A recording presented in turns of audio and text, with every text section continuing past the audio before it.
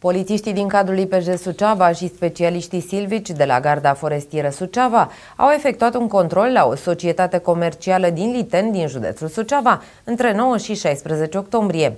La unul dintre punctele de lucru situat în satul Știrbăț, comuna Audești, s-au identificat trei contravenții la legea 171 din 2010, aplicându-se sancțiuni contravenționale în valoare de 8.000 de lei.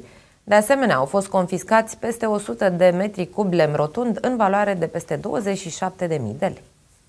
În același interval, la un alt punct de lucru din satul Rotunda, orașul Liteni, au fost constatate două contravenții la aceeași lege, cu sancțiuni contravenționale de 30.000 de lei și confiscarea 201,66 metri cub lemn rotund în valoare de 98.110 lei. De asemenea, la 250 de metri distanță de depozitul societății s-a descoperit un depozit de material lemnos cu proprietari și numere cadastrale diferite. A fost inventariat și constatat că 229,30 25 de metri cub de material lemnos, în valoare de 136.522